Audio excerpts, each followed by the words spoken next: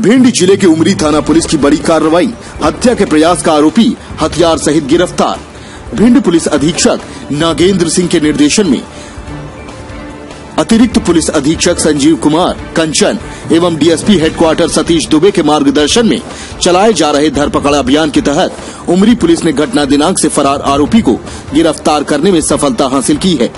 आपको बता दें, फरियादी धर्मेंद्र पुत्र बाबूराम भारद्वाज, निवासी हवलदार सिंह का पुरा ने रिपोर्ट की थी कि पुरानी रंजिश पर से आरोपी रवि शर्मा, पुत्र पुरुषोत्तम शर्मा ने जान से मारने की नियत से मेरे चचेरे भाई वीरेंद्र शर्मा की गोली मारी थी। व राहुल शर्मा, पुरुषोत्तम शर्मा ने हम लोगों की मारपीट की थी एवं जान से मारने की धमकी दी थी। उक्त रिपोर्ट पर से थाना उमरी पर अपराध क्रमांक तिरानवे बटे बीस, धारा तीन सौ सात, तीन सौ तेईस, दो सौ चौरानवे, पाँच सौ छह, चौतीस का मुकदमा कायम कर विवेचना में लिया गया था।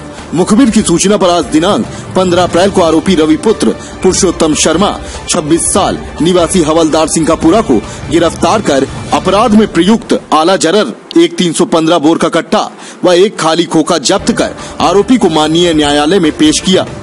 शेष दो आरोपी गढ़ घटना दिनांक से फरार हैं, जिनकी गिरफ्तारी के प्रयास जारी हैं। गिरफ़्तार हुआ है, जिसमें जो पहले आपको बताया था घटना घटित हुई थी छह तारीख को, उसके संबंध में एफआईआर अपने यहाँ दर्ज थी, विवेचना की जा रही थी।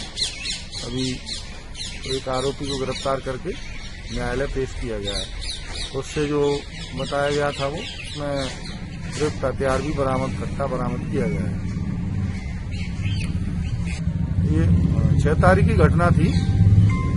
घटना थी उसके बाद जो है आज उसको गिरफ़्तार किया गया। बीच में कुछ ऐसी जो म, ऐसी अपने आसपास की हर छोटी बड़ी खबर देखने के लिए हमारे चैनल पुलिस ब्यूरो न्यूज़ को बेल आइकन दबाकर सब्सक्राइब करें जिससे आपको हर खबर समय से मिलती रहे। अधिक जानकारी के लिए हमसे संपर्क करें। हमारे contact number nine zero three nine zero one one eight eight six nine seven seven zero two two nine nine nine nine.